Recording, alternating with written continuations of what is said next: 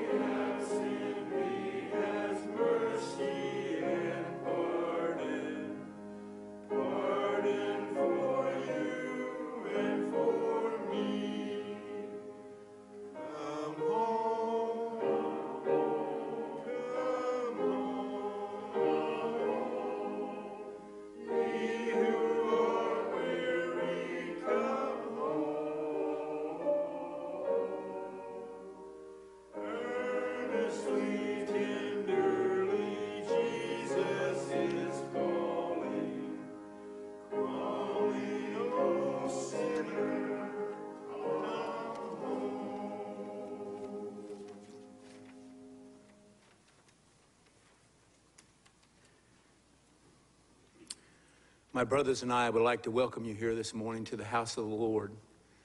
That's right, Jesus is calling us and calling us to come home. And that's what we need to be doing.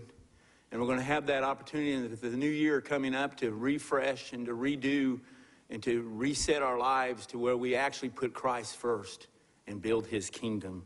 If you all join with me, I'm going to, uh, the, the uh, call to worship this morning is out of 2nd Nephi 13, chapter 13, 19 through 32. If you'd like to follow along with me, you're more than welcome to.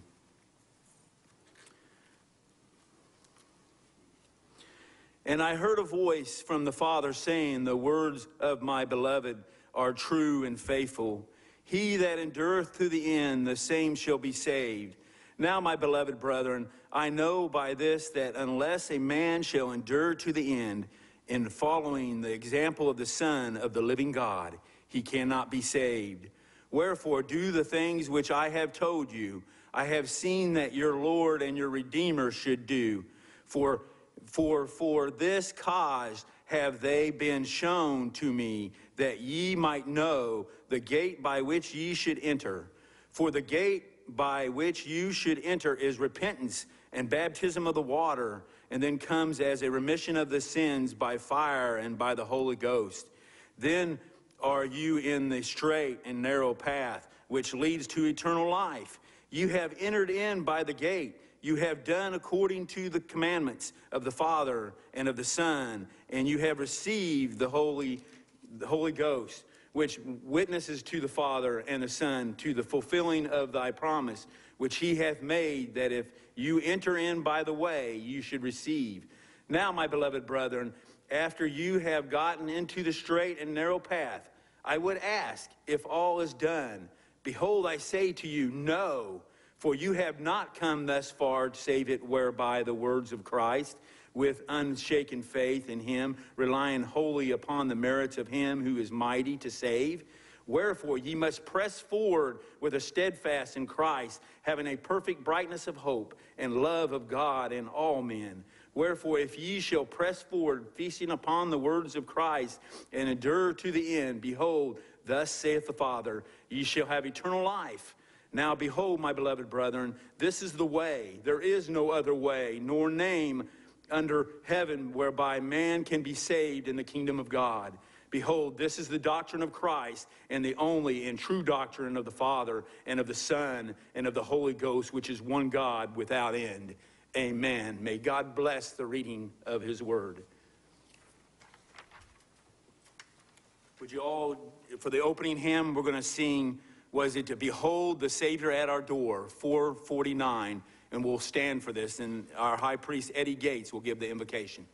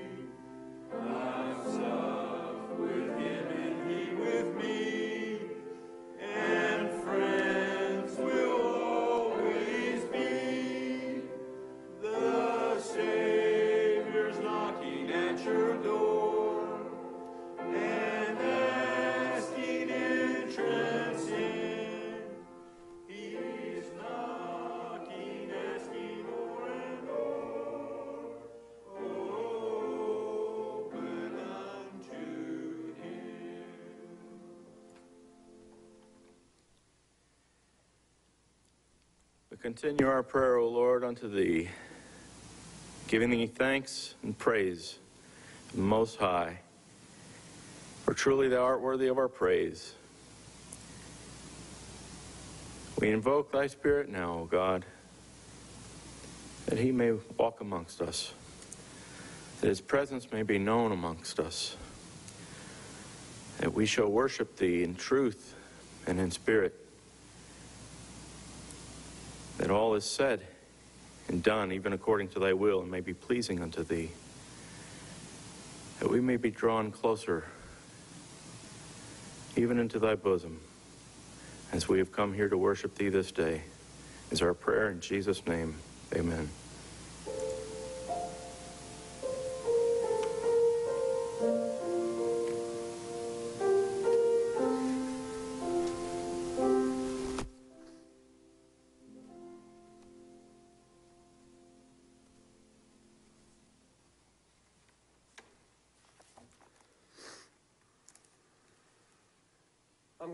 Out of uh, Matthew 22, 36 through 39.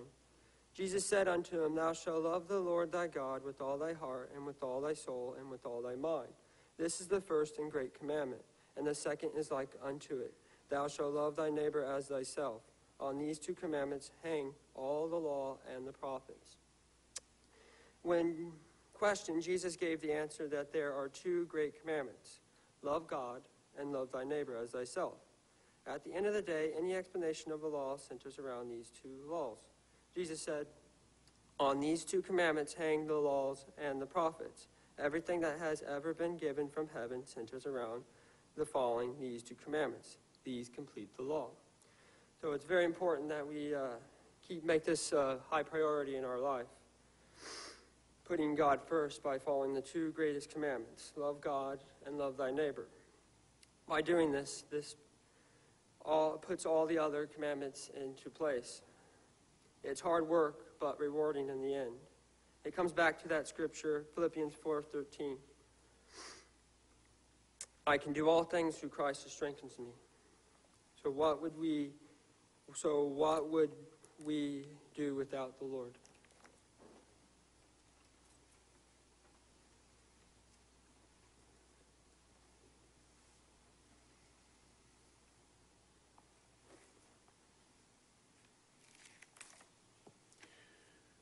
Brothers and sisters, I'd like to read for you from the third proverb some words that uh, I think are appropriate at this time. It says, Honor the Lord with thy substance and with the first fruits of all thy increase. So shall thy barns be filled with plenty, and thy presses shall burst out with new wine. Brethren, please come forward.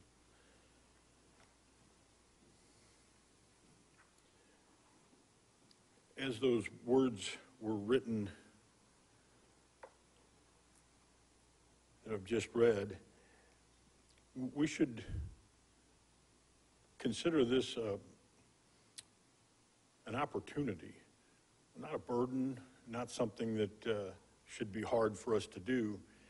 And we should be able to do it with uh, gratitude in our heart and with some joy in our heart that if we reflect upon the way that our offerings are supposed to take place, it should take place on what we have to give and, and a surplus of what we have to give. Um, the Lord doesn't expect us to give something that we don't have. He doesn't expect us to give more than we're capable of giving. But even if we don't have money, we have time and we have talents that we can offer to the Lord. So no matter what state we're in, we always have something that we can offer to the Lord. And to me, that is a blessing. If we count our blessings, that, that uh, we have more than we need. We have more energy than we need. We have more health than we need. We have more monies or whatever it is. We have something we can offer to the Lord. So please, as we make this offering, do it in joy in your heart, recognizing that the Lord has blessed you with more than what you actually really need. Pray with me, please. Dear Heavenly Father, we come to you at this time, and once again, we're so grateful for the many blessings you've given us. If we stop for just a moment and reflect upon how good you are to us and how merciful you are towards us and how you extend your arm to us in such long suffering, uh, knowing that we are imperfect, and knowing that we fall way short of what you've designed us to be, yet we still realize that you love us and you care for us and you continually take care of us. Lord, we would ask that as we make our offerings this day, that it would come up to you as a sweet smelling savor, that it would be pleasing in your sight, that you might look upon us as your children, that you have great love for and compassion for, that we might be the apple of your eye. We would ask these things, Lord, and that all these monies and gifts and offerings would be watched over and guided and directed by you, that these monies and talents would be well spent. And these things we ask in Jesus' holy name. Amen.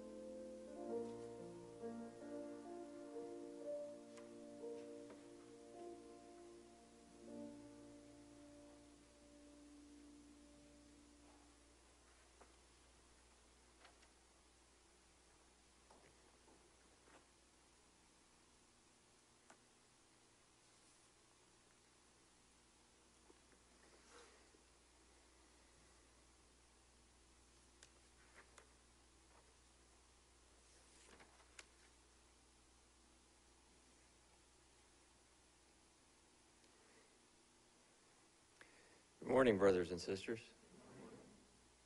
As a uh, as a setting for what we're going to going to talk about this morning, I want to read to you a a poem uh, that was taken from a wall in an orphanage in Calcutta, uh, far removed from either ourselves or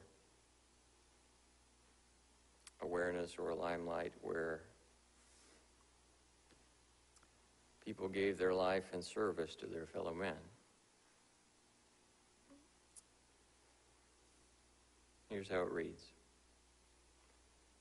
People are often unreasonable, irrational, and self centered.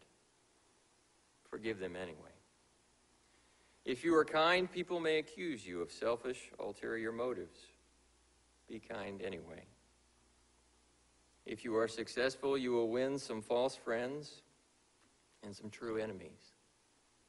Succeed anyway. If you are honest and sincere, people may deceive you. Be honest and sincere anyway. What you spend years building, someone could destroy overnight. Build anyway. The good that you do today, people will often forget tomorrow. Do good anyway. Give the best that you have, and it may never be enough. Give your best anyway. You see, in the final analysis, it is between you and your God. It was never between you and them, anyway.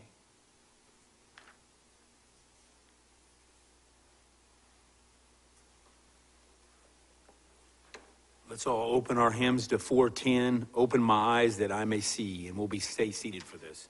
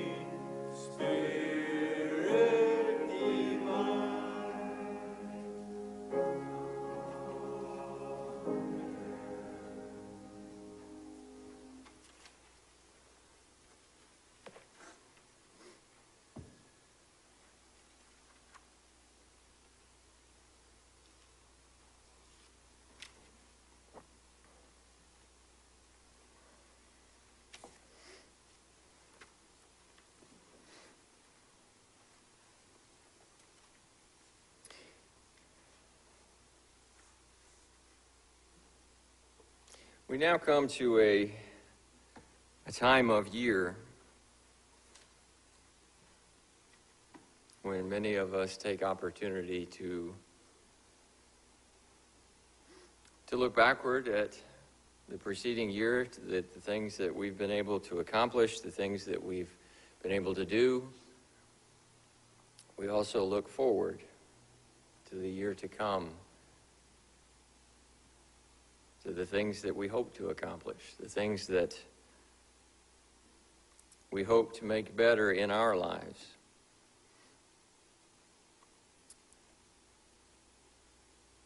We make resolutions. We commit ourselves to, to greater work, to continue to improvement,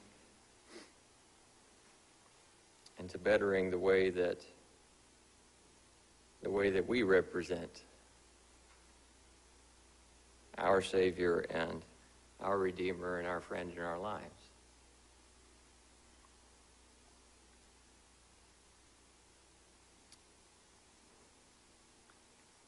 And I think the scripture that we started out this morning encapsulates what I, what I think about um, this time of year and what I think about what is before us very well. When we were asked if all was done, if, if we had done everything that needed to be done, or if there was something more to go.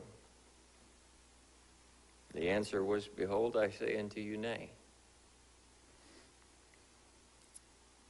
For as long as we are alive and breathing and upright on this earth, there is further work to do as we press toward the high calling.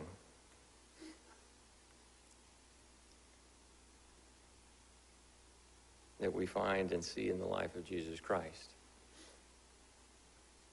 As we commit ourselves to the work that has been given to us as a church,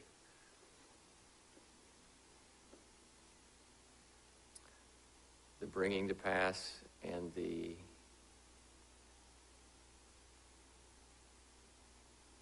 preparing of a people and a city of the kingdom of God here on this earth. As we look forward to those things, as we look backward on the year before us,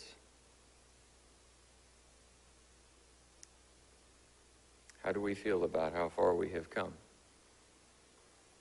As we look forward to the year, year to come, what do we expect? What do we hope for? And what can we do better in our walk and in our path to endure to the end?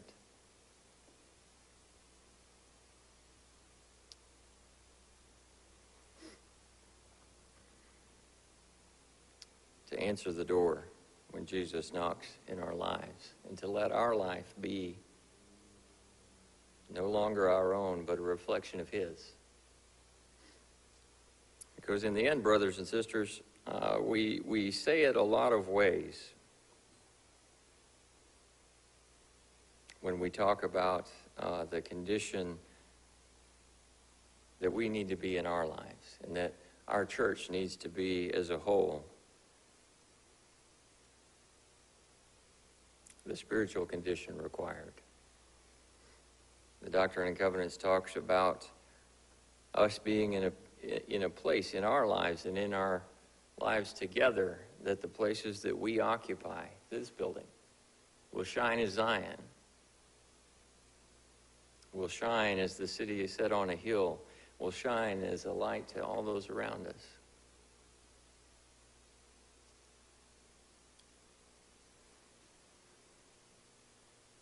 And getting there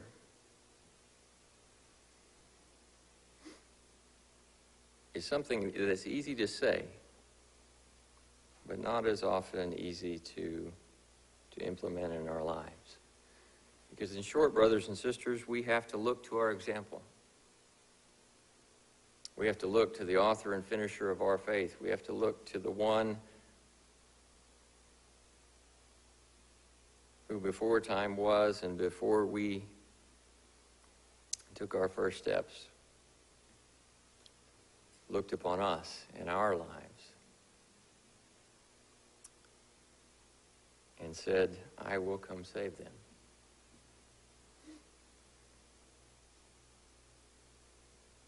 We have to take his life into our own and let it be our guide. Let it no longer be us living and walking and interacting with others, but be him through us.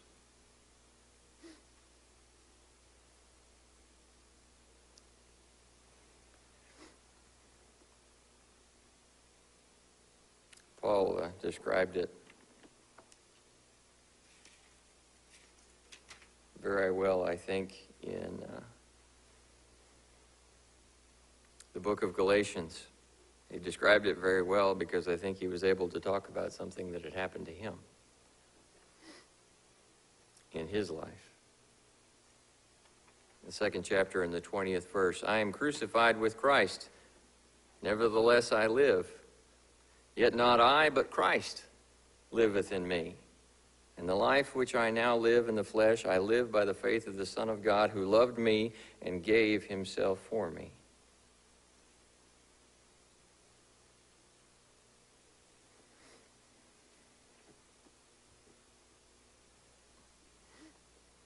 In short, brothers and sisters, we have to give over the reins and invite Christ not just into our hearts, but in control of them.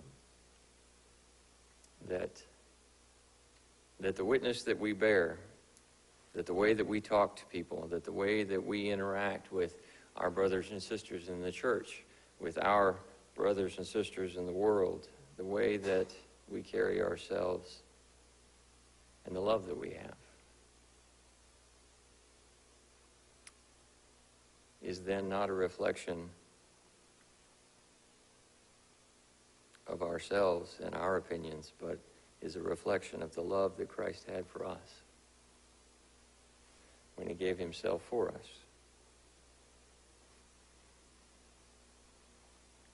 And I want to talk about a little bit about that this morning. About the love and the grace, the forgiveness the way that that we need to live out the testimony of Jesus Christ in our lives, in our, the, in our lives with our brothers and sisters in the church, and as we stand before the world. Because for our homes, for our lives, or the church buildings that we occupy to shine as Zion, those same lives have to, to shine with the light and the love of Jesus Christ, wholly and completely.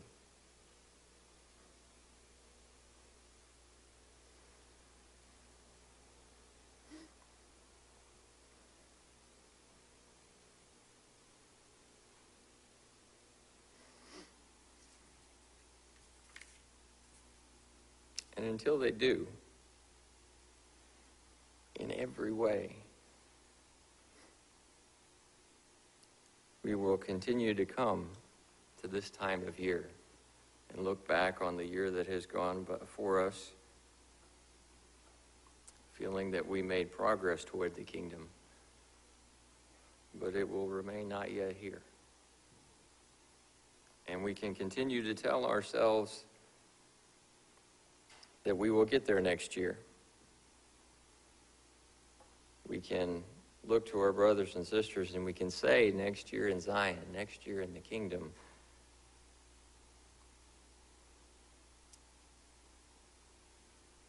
But until our lives and our hearts are filled with and show forth as Jesus Christ, the conditions won't be there.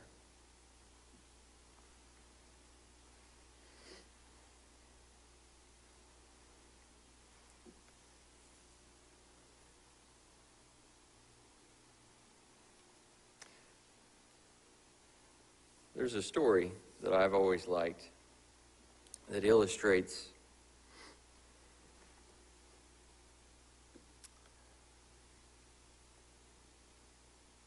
illustrates the way that we deal with each other and the effect that it has on us and on those around us.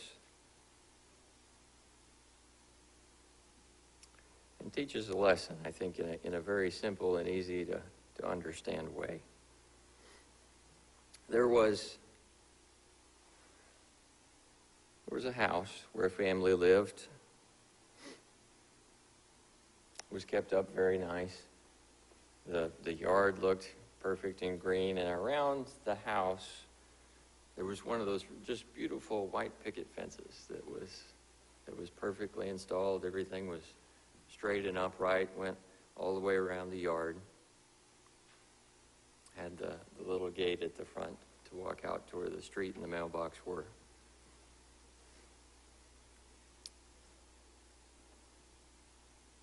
And inside was a young family. They had a young boy who had a very bad temper. He got angry. He said things he probably shouldn't.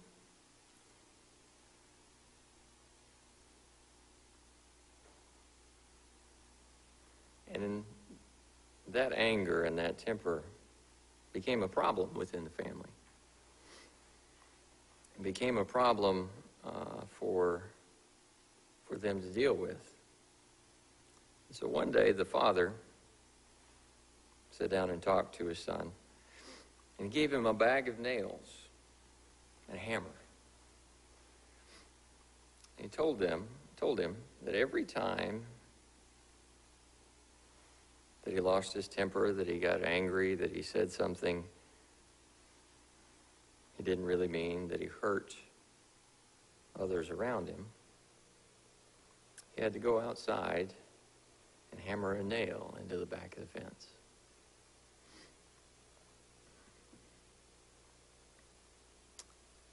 The first day after that conversation, the young boy had driven 37 nails into the fence.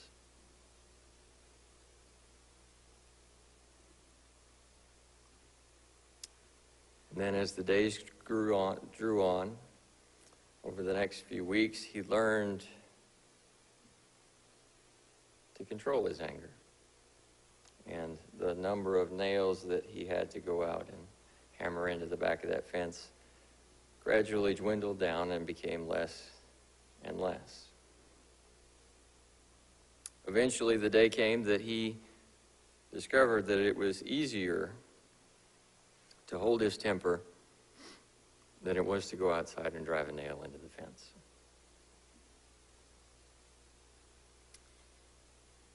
And finally, the day came when the boy didn't lose his temper at all. Went and told his father about it and said, very excited, that today he didn't have to go outside and put one nail in that fence. So now the father had another suggestion for him. And for each day that he was able to, to do the same, that he was able to hold his temper, to not be angry with someone else, to not say things that he didn't mean. For each day that he did that, he, he could go outside and he could pull out one nail out of the back of that fence.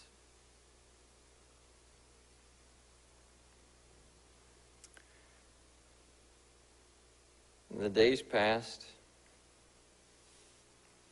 and the months passed. And finally, there came the day when the last nail was pulled out. And now the young boy was able to go tell his father that all the nails were gone.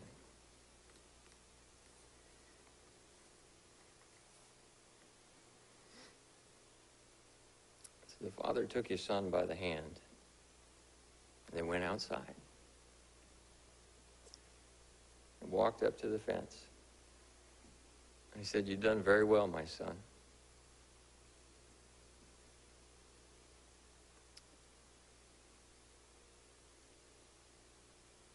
But look at the holes in the fence.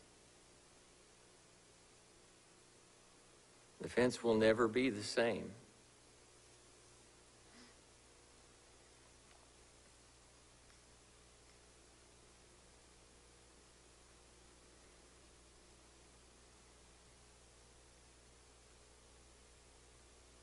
Able to come out, put these nails in the back of the fence, and take them back out again. But the holes are still there. And when you say things in anger, even if you take them back, they still leave a scar, just like all the little holes in the fence.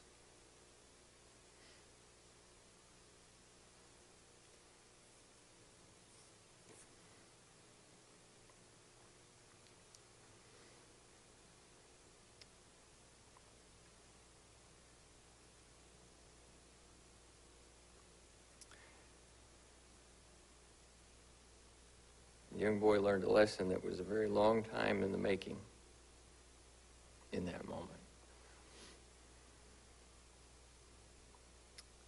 He learned the importance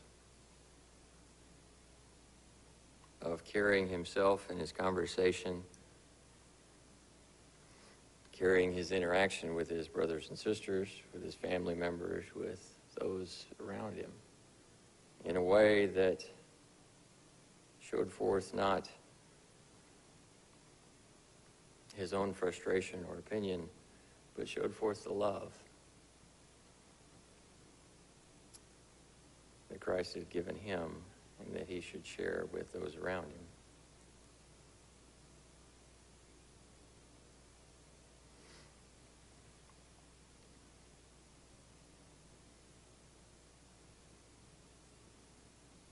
I want to talk about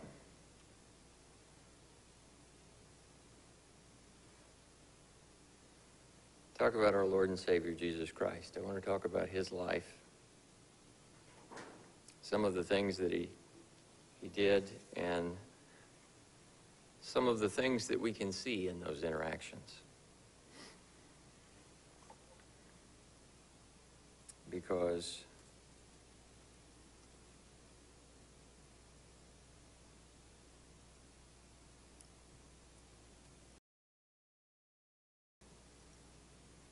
because it's His love and it's His light and it's His life that we have to take into and share as a part of our own.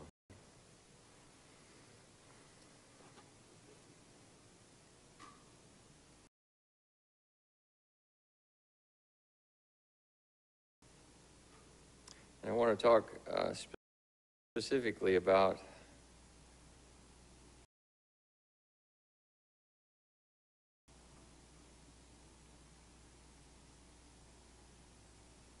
anger and forgiveness,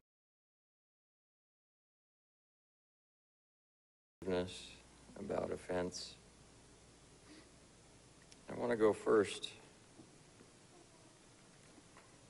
to the book of Matthew, the 18th chapter.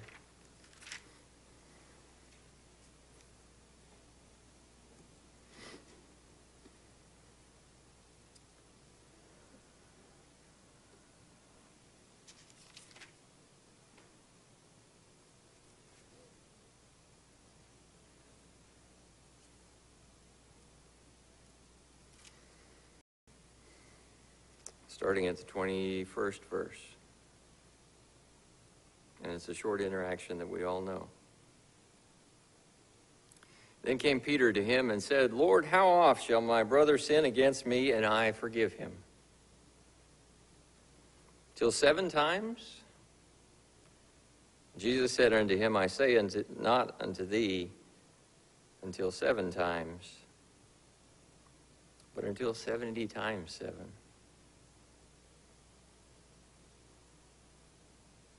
Peter, I think, one, was frustrated with his brother in that interaction.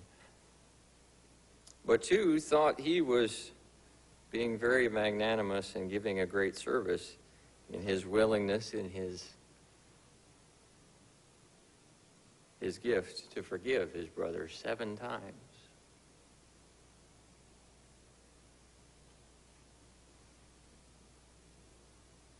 But Jesus did what he often did demonstrated that our understanding and our offering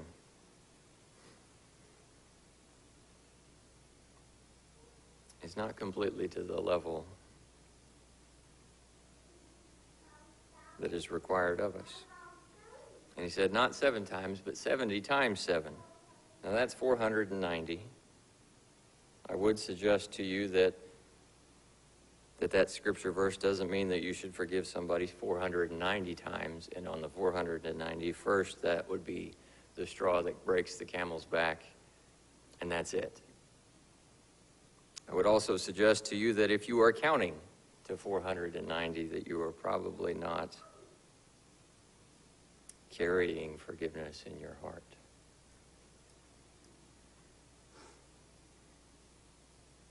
But that's actually even that is not as far as Christ calls us to in our love and our forgiveness to our, our brothers and our fellow man.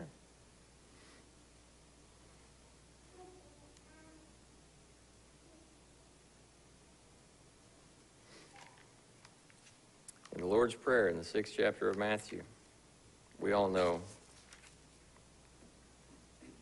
what this says, as the Lord was telling us how to pray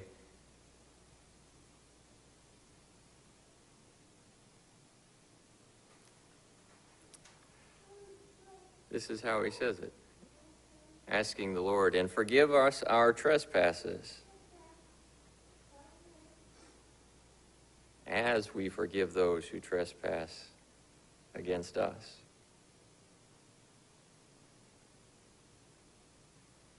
Here, Christ is connecting the forgiveness that we are asking our Heavenly Father for, the times that we fall short the times that we sin, the times that we're not as everything that we are supposed to be. And he's tying that to our forgiveness of those who have done so to us. And just as we ask God to love us and forgive us, even though we fall short, we must do the same. To all those who trespass against us.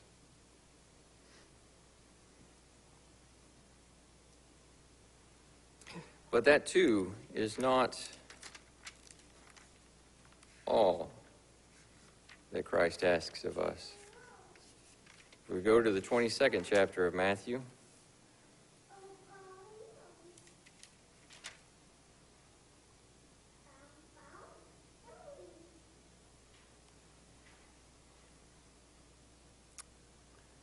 scripture that uh, Madison read to us, and another one that we're all familiar with. The two great commandments. Jesus said unto him, Thou shalt love the Lord thy God with all thy heart, with all thy soul, and with all thy mind. This is the first and great commandment. And the second is like unto it Thou shalt love thy neighbor as thyself. So, beyond being willing to be magnanimous and forgive, beyond needing to forgive as we ask God to forgive us, Jesus is telling us that we are required to love our neighbors, to love our brothers and sisters, to love those that we come in contact with as ourselves.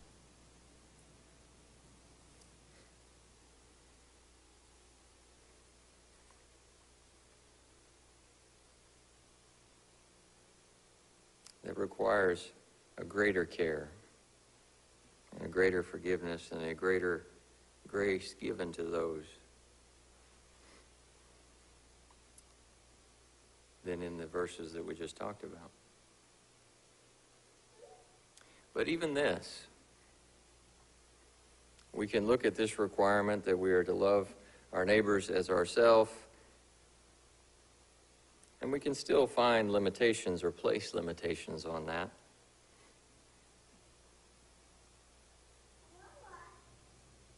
We can say that self sacrifice would not be included within that. Giving up something of oneself to help or forgive or save a neighbor would not be included in that because that wouldn't be loving them as you do yourself.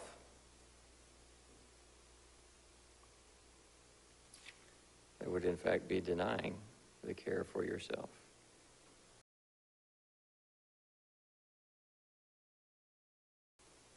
But that also is not as far as God asked us to go.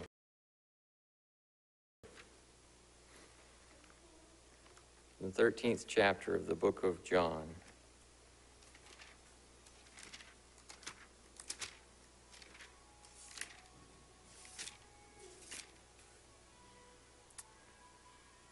the 34th verse.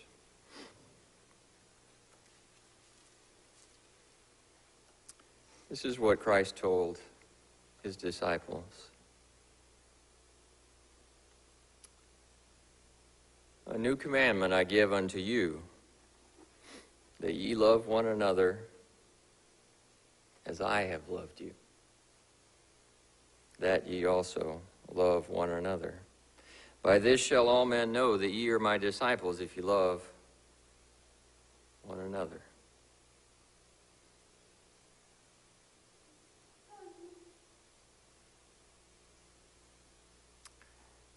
This goes back to where we started.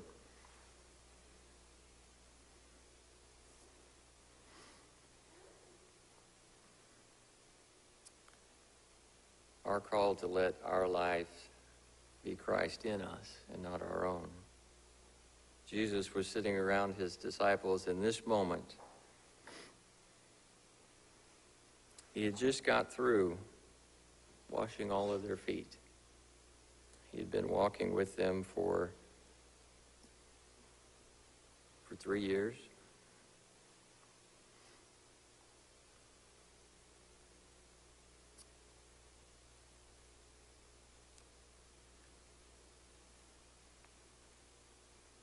And he was to leave that room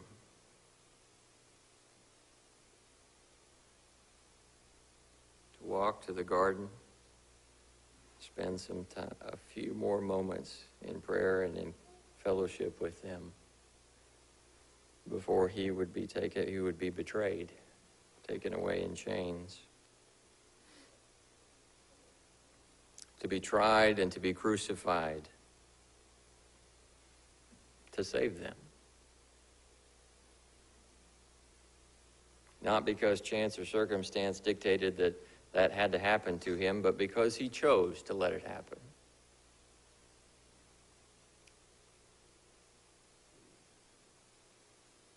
And that's the that is the Savior, and that is the the life that said unto his disciples at that time and says unto us, A new commandment I give unto you, that ye love one another as I have loved you.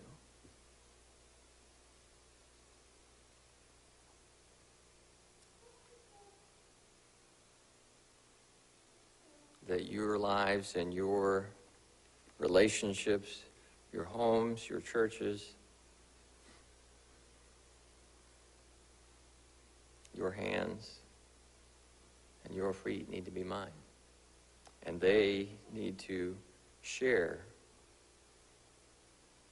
the love that Christ has and had when he sacrificed everything. To save you and I, even in the moments before we had even turned to Him. He made that decision to come and to die for us, to endure the pain of the cross, to live life as a man here on this earth as an example for us, to save me to save you in the middle of our unworthiness, in the middle of our unrepentance, in the middle of our choices that would take us away from Him. He knew all those things. He knew that if that if he didn't come to save us, that we would be lost forever. That our desires and our choices would take us far away from anything that had to do with his path, and that we would be lost.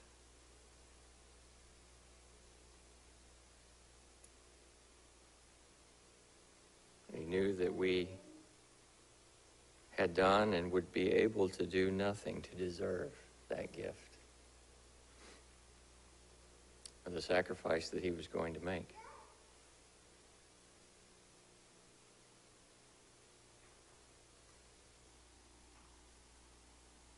And that's when he decided to come and give his life for us.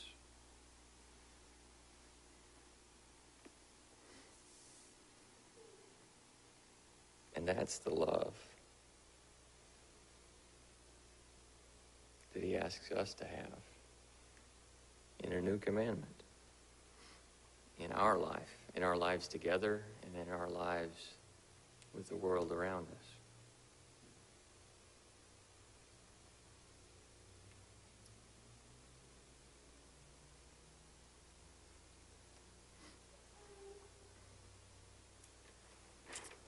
Brothers and sisters, that's not an easy thing. It's just a few short words, but it includes but it includes everything in terms of what we are asked and required to give up in our lives.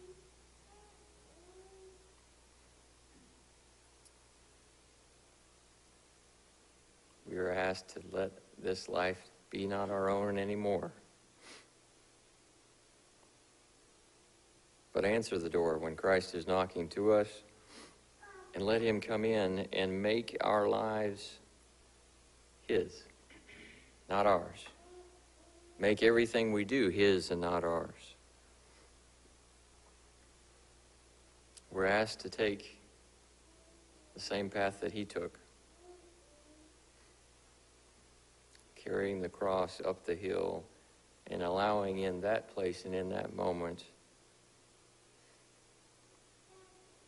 Him to take away everything in our lives that is us, that is less than the high calling that He has given to us.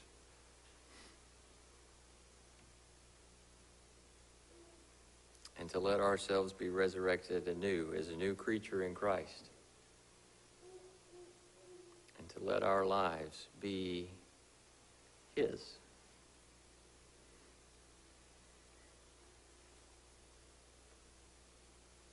and to go forward from that experience and that process in our lives, carrying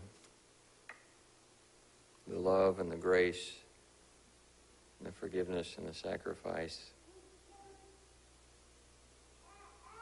that were His, and to letting them show forward in our lives.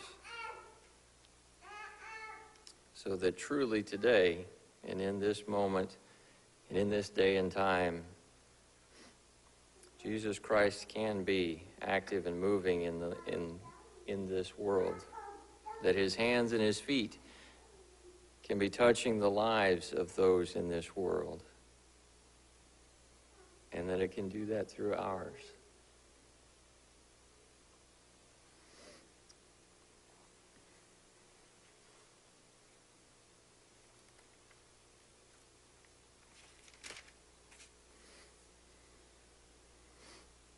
From the 12th chapter of Romans. I beseech you, therefore, brethren, by the mercies of God, that you present your bodies a living sacrifice, holy acceptable unto God, which is your reasonable service. And be not conformed to this world, but be ye transformed by the renewing of your mind, that ye may prove what the good and acceptable and perfect will of God is.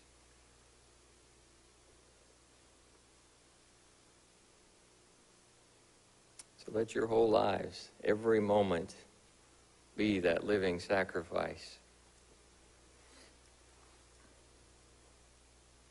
Let everything that we do and say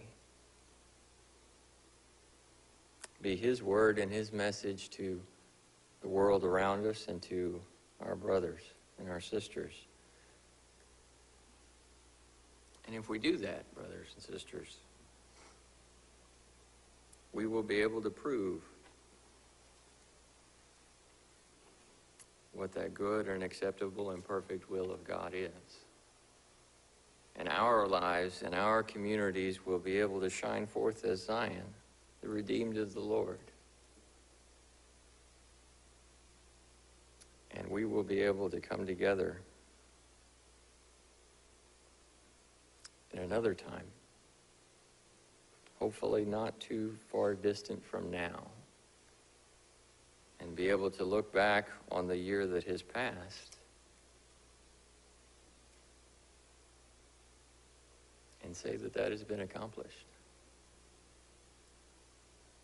We will be able to sit in that city, literally built, and setting on a hill, shining forth its light to all the world.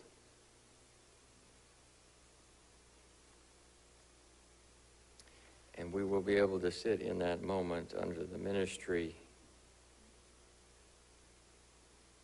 and the love of our Lord and Savior Jesus Christ. Not just in words on a page or in what somebody stands up here and says, but in actual presence.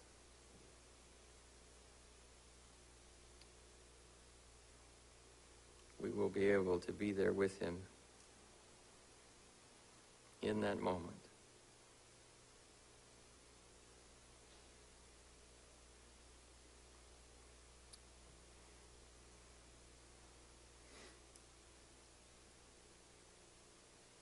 And my friends, that is an invitation to us all.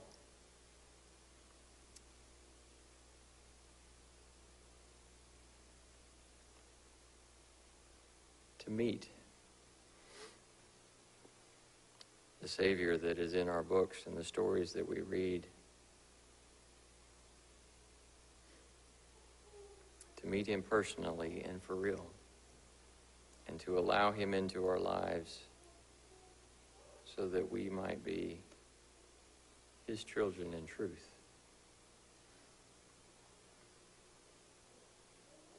And His light before all the world in everything that we do.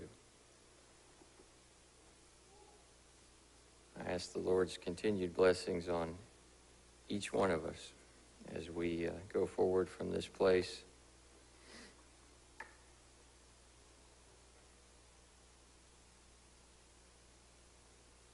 As we seek our Lord's will and we seek to, to live out His love in our lives.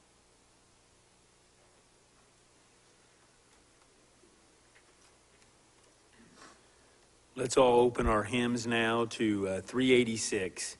God will take care of us, and we'll stand for this, and then Elder Dennis Patterson will give us the benediction.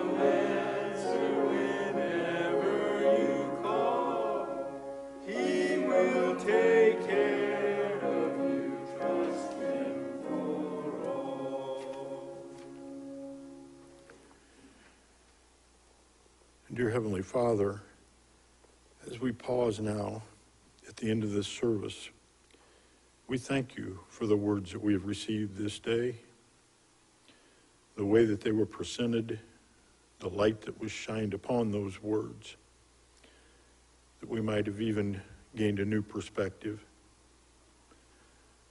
Lord, we love you and we thank you. We recognize the many blessings that you poured out upon us your mercy, your grace, your forgiveness, and even the strength for us to continue on each day.